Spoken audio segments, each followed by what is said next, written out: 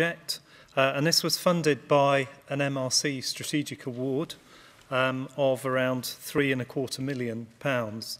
Um, and almost a million pounds of this was to um, actually uh, undertake the DNA extraction in the samples, which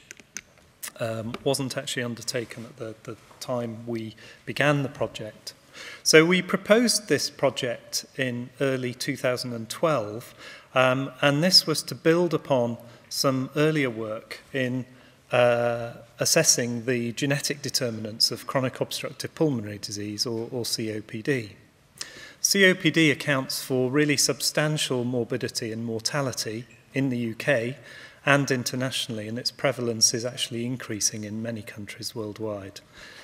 The environmental determinants include tobacco smoke and indoor air pollution, and whilst genetic determinants have long been known to be important in the etiology of COPD, these were relatively poorly understood with the exception of the alpha-1 antitrypsin mutations, which have long been known to be associated with COPD. But these only account for a very small proportion of COPD cases. And genome-wide association studies over the last few years have, had, uh, have uh, given additional insight to the causes of COPD. So this is a measurement called spirometry, which has in fact also been undertaken in all of the UK Biobank participants. And during spirometry, these are some of the key summary measurements which are, are used. And this measurement of the forced expiratory volume in one second divided by the forced vital capacity, or the FEV1 over FVC e ratio, um, is often used as one of the uh, diagnostic thresholds uh, in the diagnosis of COPD. And this measure, FEV1, often expressed uh, as a percent predicted value based on age and sex and height, is often used in grading severity of COPD. So a strategy that we had used uh, and others had used um, in genome-wide association studies previously was to study large numbers of individuals from general populations who'd had lung function measures undertaken and undertake genome-wide association study. Uh, and you can see here the two large consortia called Spirometer and Charge um, had, by the time of design of the UK Believe study, reported uh, between them 26 regions of the genome uh, associated with uh, these lung function traits, FEV1 or ratio of FEV1 over FVC. And subsequently, as sample sizes of cases and controls uh, for studying COPD as a binary phenotype have become available, many of these have now been associated with COPD. These one's shown in bold on the slide. So the names here refer to the sentinel genes within each of these signals, and these implicate pathways, for example, involving cell migration and wound healing, cellular detoxification, um, mediation of airway caliber, and pulmonary fibrosis, uh, as well as a number of other pathways and also genes for which we um, don't yet fully understand their function. So of these associations at the 26 loci, they did certainly implicate many proteins and pathways for which we didn't yet fully understand um, their, their role, and many of them had not been reported to be involved in lung disease before. So this illustrates the potential utility of undertaking a genome-wide approach. However, they did leave many unanswered questions. So to date, uh, we'd only really assayed common variation across the genome using the kinds of genome-wide arrays we'd used, partly as a consequence of those common variants being strongly correlated with other common variants nearby in the genome, we had variable localization of signals. So only in a minority of these 26 loci can we be confident that we've definitely hit on the right gene in terms of uh, functional follow-up and, and translation of those findings subsequently. Collectively, they only explain about 7% of the variance in uh, ratio of FEV1 over FVC, e and that highlights the fact that there are many other genetic associations still to be found. Some of those will lie at the lower end of the allele frequency distribution, and um, as Hugh has mentioned earlier, we expect some of those variants to be of much greater functional significance than some of the rare, the, the common variants that we've detected to date. So whilst these studies have provided a useful resource and, and uh, the association test results for all two and a half million SNPs that were tested in these studies are all available in the public domain for other researchers to use, um, whilst they've provided a useful resource, we felt we could do much more in terms of understanding the ge genetic architecture of the disease and providing a better pathway towards translation.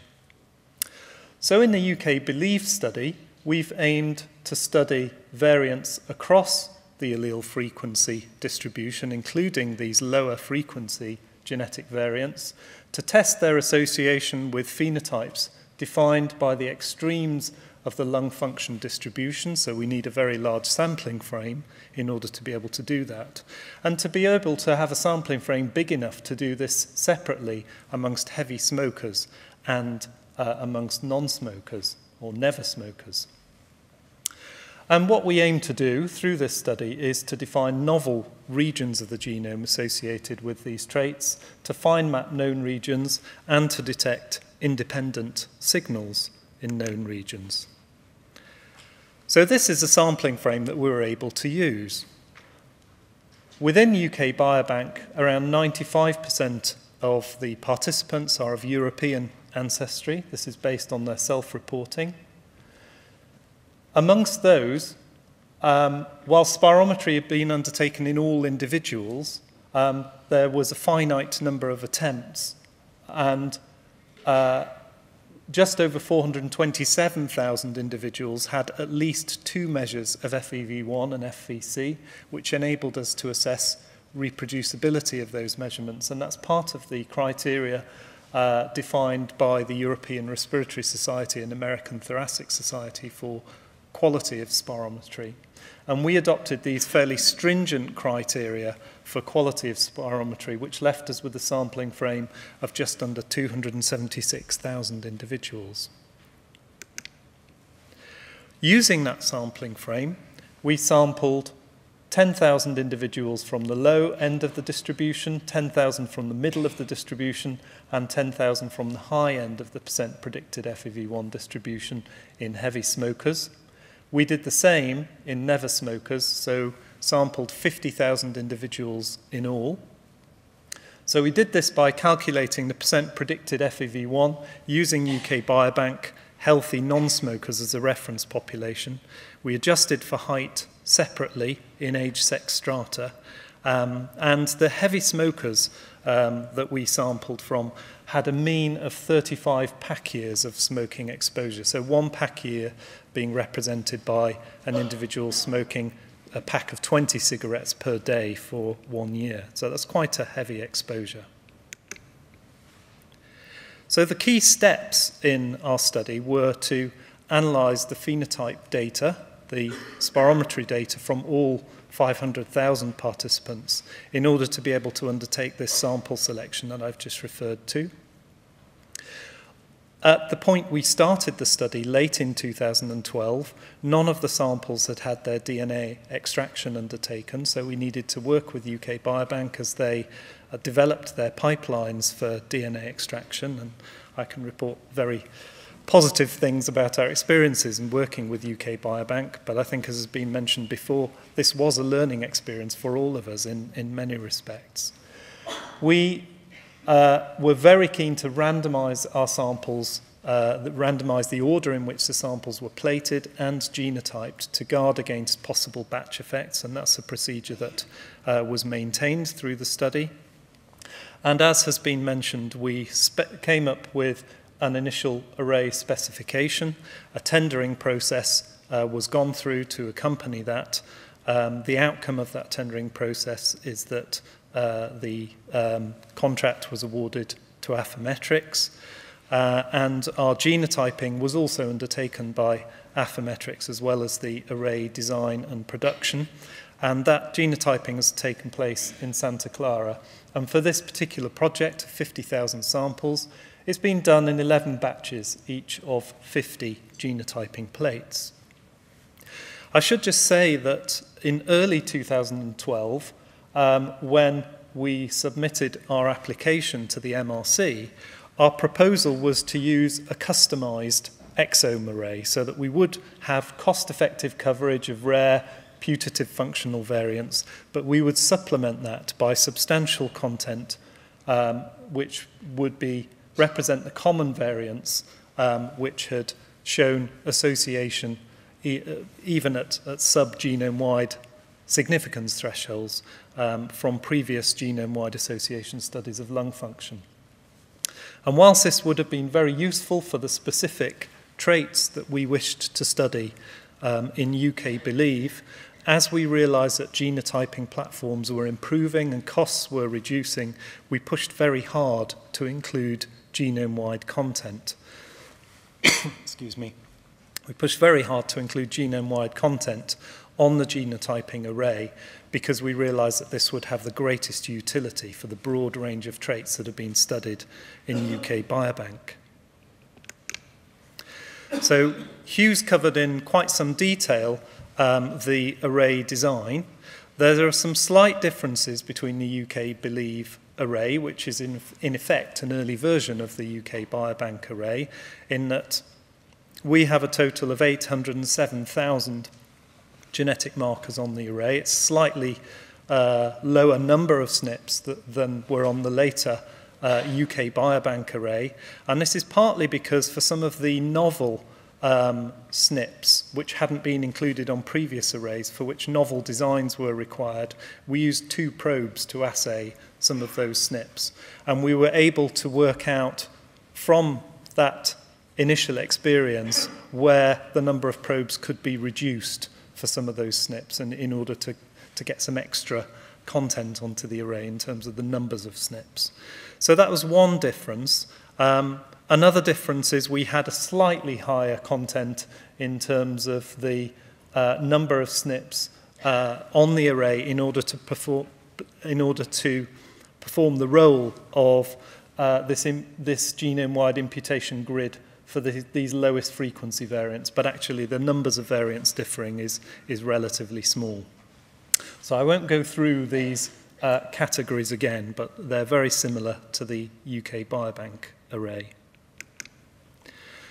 just in terms of the custom respiratory content, which has stayed on the UK Biobank array, this included around 9,000 SNPs, and we aimed to optimize coverage of regions of genome-wide association study with a number of respiratory traits, including lung function, COPD, asthma, pulmonary fibrosis, and smoking behavior. And we also included variants which had shown weaker levels of uh, association in genome-wide association studies uh, of relevant traits. And just to show an example of the kinds of coverage that we were achieving for these low frequency variants in this 1 to 5% range, I've shown here the 26 regions that have been previously associated with those lung function traits from the earlier slide, we aimed to achieve a mean R squared as a measure of imputation quality of at least 0.8 for each of those regions. And you can see that this was achieved for the vast majority and, and it's quite in, in excess of that for, for a large number of regions. One notable exception is MFAP2, um, uh, this region contains a lot of repetitive sequence and copy number variation, so it's not too surprising we found that, up, that one a little bit more difficult. So we're now at a stage where we've received our genome-wide genotyping data on all 50,000 samples. We've undertaken initial QC and some much more detailed QC. We've also imputed uh, these uh, samples uh, data after QC um, using sequence data as, as a reference panel. And the data that we used initially was from the 1000 Genomes project. I'll talk a bit more about subsequent rounds of imputations um, a, a little bit later.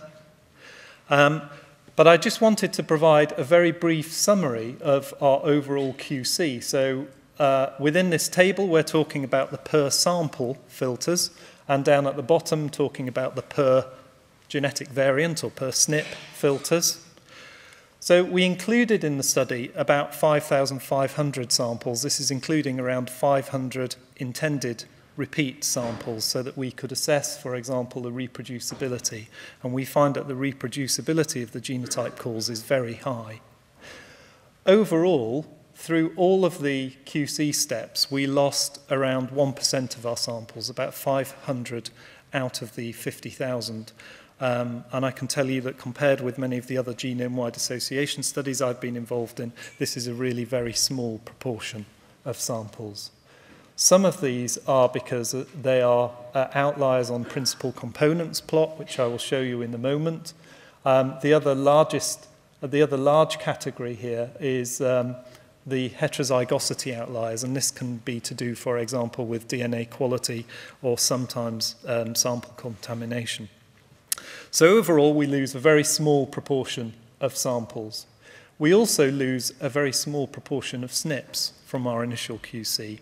So we've taken forward to analysis SNPs that passed QC in nine or more of the 11 batches, and that's almost 96% of variance. If a SNP failed in only one batch, for example, and it behaved very well in the other batches, it would simply be coded as missing in that particular batch and it could be imputed. Um, this is a principal components plot. So principal components are generated using the whole of the genome-wide association uh, array genotyping data. Um, it enables us to separate out, separate out ancestries. So this is the background I'm showing for the plot, which is provided by plotting HapMap 3 populations. And we see down here European populations, on this axis Mexican and Asian and Chinese and Japanese samples, on this axis African samples. And if we superimpose the UK belief samples, you can see that these all cluster with a few exceptions, right down in its bottom left-hand corner. And we have just over 100 samples that are outliers and for the purposes of our initial analyses are, are excluded. It may, it, it should be possible, of course, once there are adequate numbers of any individual ancestries to put those back into subsequent analyses. Just to give you an idea of some of the additional QC steps that we've been undertaking, we've explored things like whether or not there are specific SNPs that might show plate effects. So here we've assessed in each of the 11 batches whether there's a strong association between the minor allele count and the plate that uh, samples lie on. Uh, and actually, out of the 807,000 genetic markers, we find a really small proportion which are susceptible to these plate effects. And that could matter in the situation that your plate is associated with your phenotype in some way. Um, as you've heard, we've randomized the order of the samples for, for this study.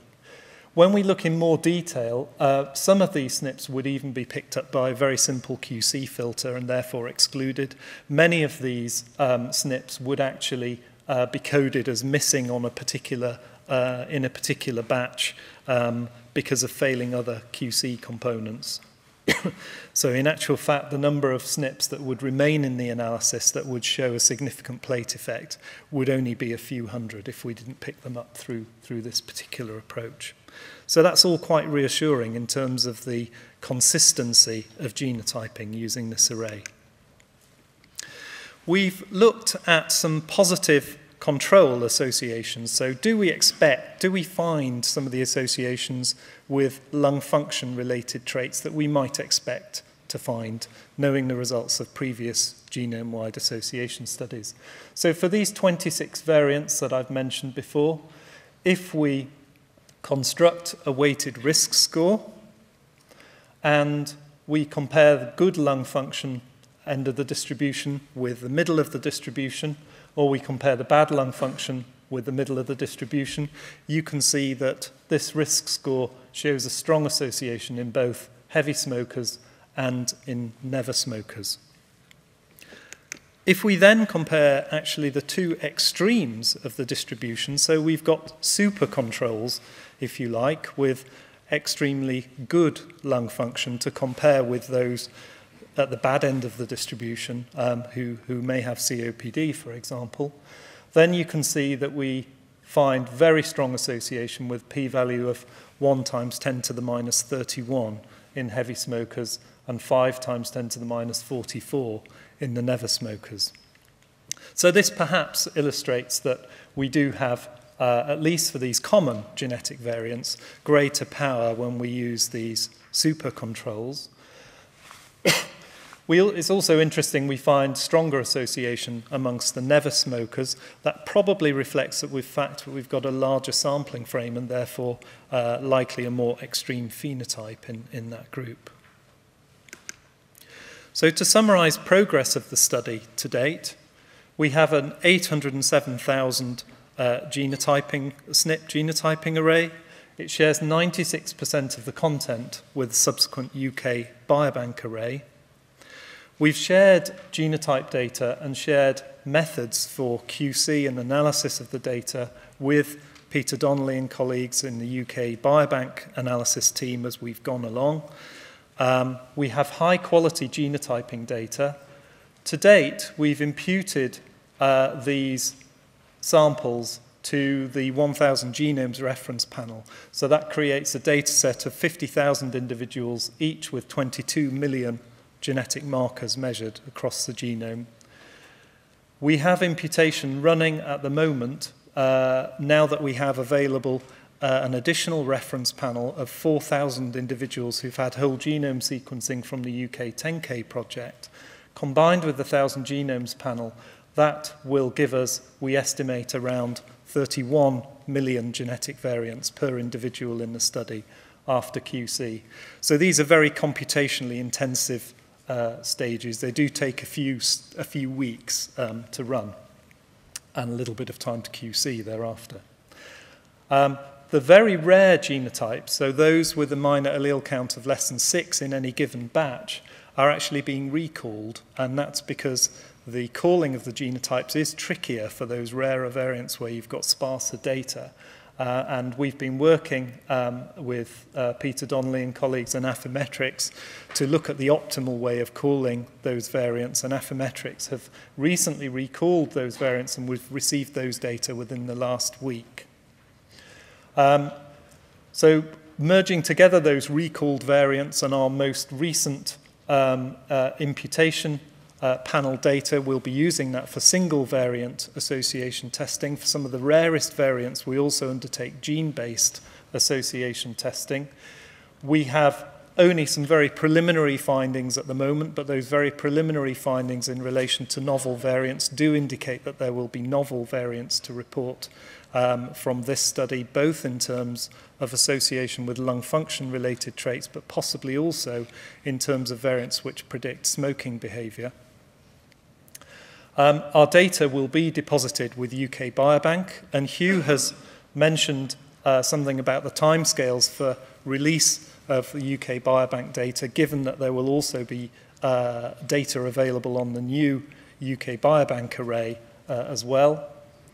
Uh, and our findings in terms of the genome-wide association testing will be made publicly available. And in terms of some of those uh, novel uh, Uh, uh, association reports. We would expect to be able to report these at three conferences it, eh, taking place in September in Nottingham, uh, near Washington DC, and in Liverpool, as well as uh, in a little more detail perhaps at the American Society of Human Genetics in October.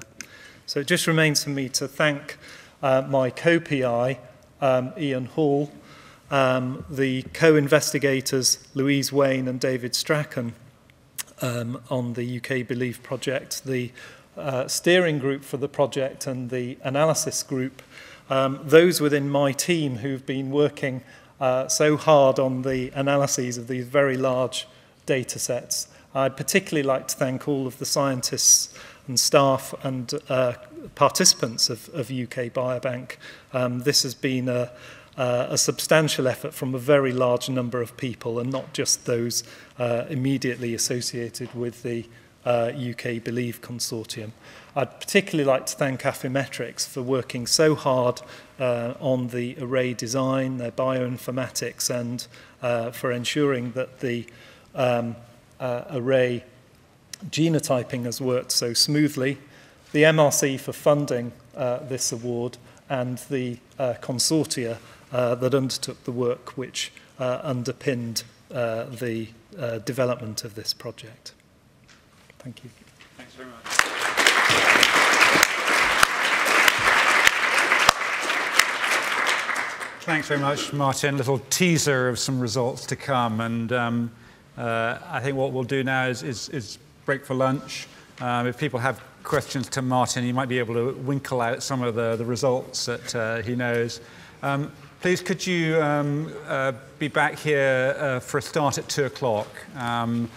and lunch is uh, upstairs uh, where coffee was. Um, thank you very much. Thanks, Martin.